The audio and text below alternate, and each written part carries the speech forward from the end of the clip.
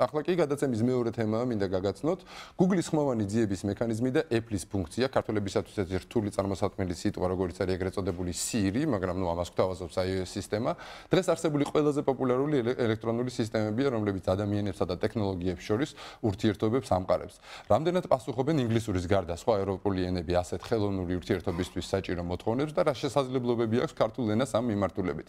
ამ კითხვებსა და გამოწვევებზე მსჯელობენ დასავლეთის სამყარო კვლევითი ცენტრები, მათ შორისაა საქართველოს.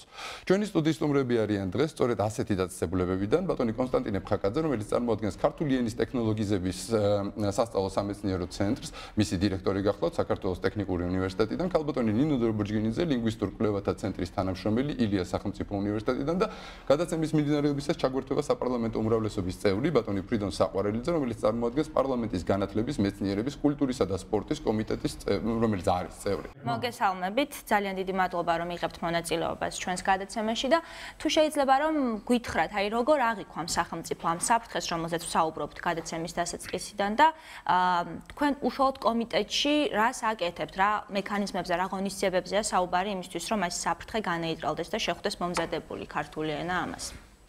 მოგესალმებით, დიდი მადლობა მოგვისთვის, მოგესალმებით სტუდიის სტუმრებს.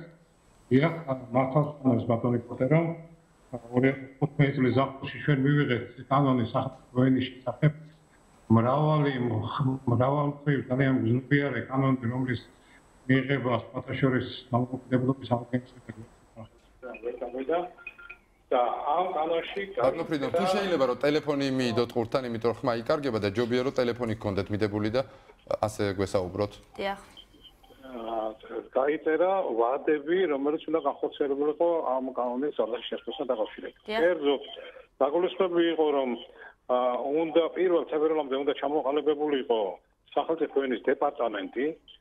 ხოლო ამ დეპარტამენტს უნდა შეექმნა სახელმწიფო ენის ერთიანი პროგრამა, გადაეგზავნა ის თავრობისათვის და თავრობას 14 აპრილს ეს ვადა გასულია მოგხსენებათ, უკვე უნდა დაემტკიცებინა ქართული ენის ერთიანი პროგრამა. ეს ერთიანი პროგრამა ერთმანეთს სახელმწიფო სტრუქტურის, ისტორიის, კულტურის, ტექნოლოგიური უზრუნველყოფის შექმნას რის შესახებაც ახლა ლაპარაკობს სადაც დღევანდელ თემაში. და თანამედროვე სრულყოფილი ციფრული ბაზების შექმნა და ასე შემდეგ. ანუ გამოდის რომ პირველი თებერვლის შემდეგ კანონი ყოველდღიურად ირღვევა. პირველ თებერვალს უნდა შექმნილიყო დეპარტამენტი, დეპარტამენტი შექმნილი არ არის. ამიტომ მე მინდა ამ ეთერიდან მოუწოდო ხელისუფლებას, მოუწოდო მთავრობას, მოუწოდო პირადად პრემიერ-მინისტრს, თხოვობათ, რომ რა შეიძლება დროზე აღმოფხრათ ის დაღვა, რომელიც ამ კანონის ამოქმედებასთან არის დაკავშირებული. გასაგებია, თუ არის კიდევ რაიმე გეგმები კომიტეტში მასთან დაკავშირებით, რომ აი ამ საფრთხეებს გაუმკლავდეს და შეგვიძლია დავასრულოთ ჩართვა. ის რომ ის რომ განათლების კულტურისა და მეცნიერების კომიტეტი ძალიან სერიოზულად უდგება ამ საკითხებს. და ეს მისი საგანგაშო მდგომარეობა რომელიც დაკავშირებული არის ხარჯული ენის ტექნოლოგიური ანბანის შექმნის სირთულეებთან იმითაც დასტურდება რომ კომიტეტმა უკვე ორი ძალიან სერიოზული კონფერენცია ჩაატარა.